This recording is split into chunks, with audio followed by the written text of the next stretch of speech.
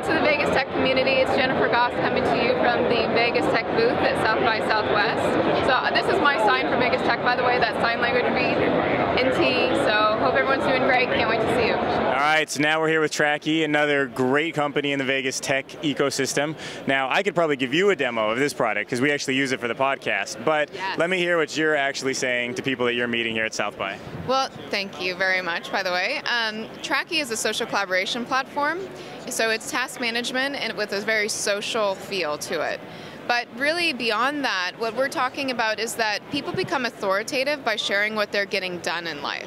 Right. So we think like we have this separation of we work in private all the time, but then we push all these public updates on, on social networks. And that kind of seems like insincere. So why not share more of what you're working on?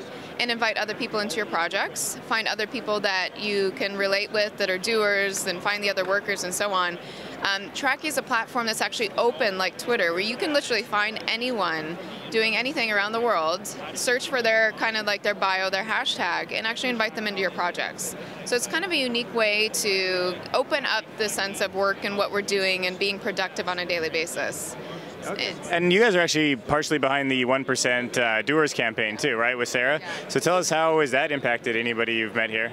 Yeah, we, we really like the concept of you know rewarding people that are getting things done and that are trying hard, and it's another way to do that. Um, the 1% of Doers campaign is about finding those people that really are kind of like maybe the 1% of the 20% that, that kind of right. do things and rewarding them and then letting their bosses know and like giving them a shot in the arm to say, you're doing a great job, like keep on doing it. You know, the world is noticing. Even if it's small and you're not a very social or public figure, to let them know that someone cares. And, you know, our back end, our platform is sort of kind of celebrating the doers, celebrating people that like to organize, be productive, to share, you know, that kind of thing, collaborate with with others.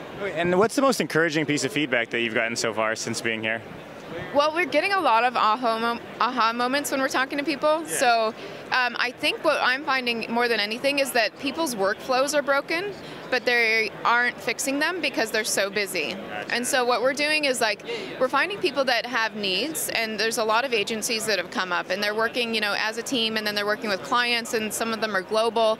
And what they're saying is like, well, maybe we would have some sort of productivity platform for our team, but when it comes to working with our clients, we're using email. And I had, I, you know, I've had people come to me and they're like, they're they're fake crying because they're like, I'm dying in my email. My email is killing me. I know that pain. That's real crying. That's not. It, I know. I know. That I had a guy just basically collapse into my arms yesterday, and I was like, wow, this this is a problem that needs to be fixed. So people's workflows, I think, is like a big deal because we're like using nine apps a day to organize our work and our personal lives and then we're busy all the time. We're always on, but it's like we're using all these different platforms. So when you can tell someone you can do basically email and collaboration and discussions and instant messaging and file sharing, and now video collaboration or video conferencing with the Watch2 Playground integration all in one platform. And you can invite anyone in, and you can totally control what they see, meaning there's no visibility concerns, I'm not oversharing, and I'm not undersharing.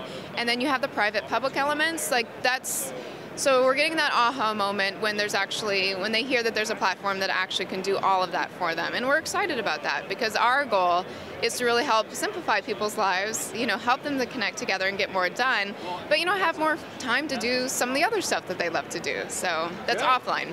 all right, well,